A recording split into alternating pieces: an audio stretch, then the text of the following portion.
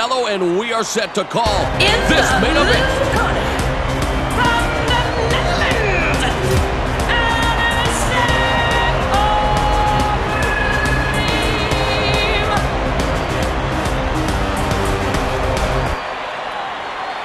Time to present the tale of the tape for this championship fight. Fight! With a light heavyweight title at stake. Well, it didn't take long. Oh, we are very close to the new champion here. He is able. This submission quit. You can get the submission. Go for it.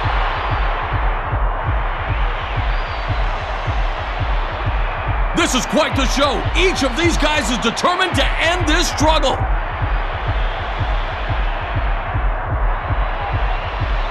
What a submission battle. Look at them back and forth, back and forth. How are they holding on?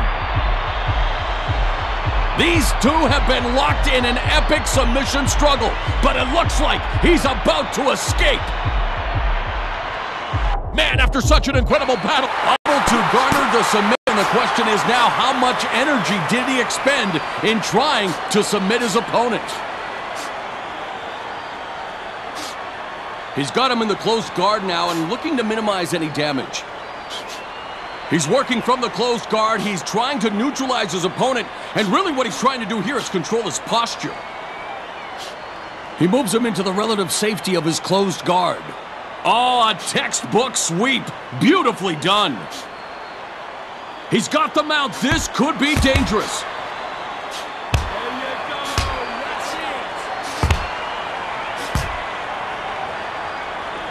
Oh, he's in trouble here. He is in deep trouble. Yup, he's given up his back. This could be it.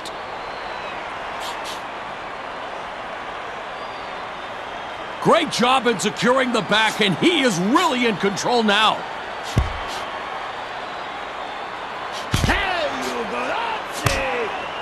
Oh, you never want to see a guy do that, surrendering his back just like that. Overeem lands a right punch.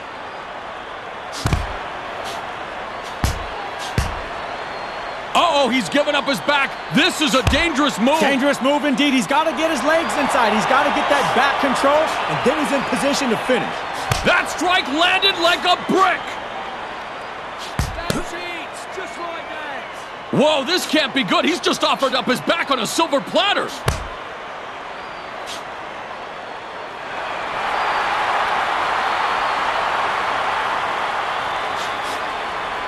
He dumps him on the canvas with a double leg.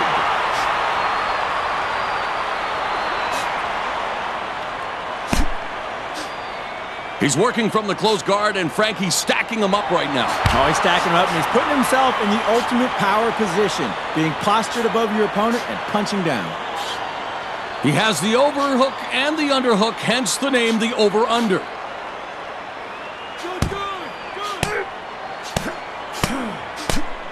Here we see him stacked up in the guard now. Overeem is now working from what is known as the over-under clinch. The wall slams him to the canvas. Take that for a takedown. Oh, this is a nice sprawl. Hips down, back straight. He's stopping that takedown. Oh, and he takes him right down. Oh, wow, he's going for the submission. Can he cinch it in? He looks like he might have it here. Oh, man, Morrow, he might be winning the belt with this hole right here. Oh, man, I think he's going to be able to survive it.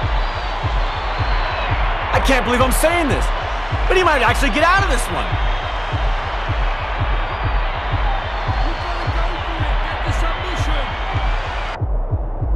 Lawal manages to avoid the choke, and that just might put a little dent in his opponent's pride.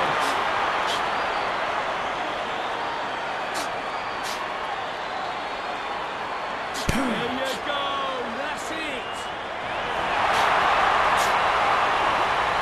Oh, he darts out of the way of that punch. Circle away from his power hand! Oh, he gets tagged with that hook. He gets the tie clinch, and this could very well be the beginning of the end. Overeem changes levels and gets the takedown. Beautifully done. Nice! He just caught the punch. Uh-oh, he's got wrist control. Gotta take advantage once you have wrist control. It's not like it's gonna last forever. He's got wrist control, and his opponent is going to have a hard time defending here with one less limb to use.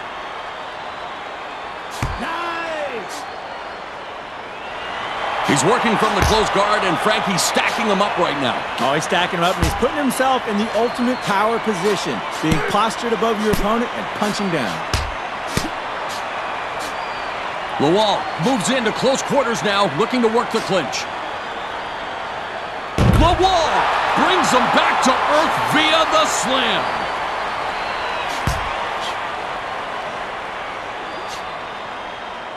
He passes the guard and moves into side control. Oh, what a reversal here as he now finds himself in top position. With so many takedowns in this fight, uh, what? Wow, what a shot by the champion! This is The champ got him! He got him! He has dropped him to the ground! There's a riddle in this fight, and neither fighter can figure it out. How do you stop the takedown?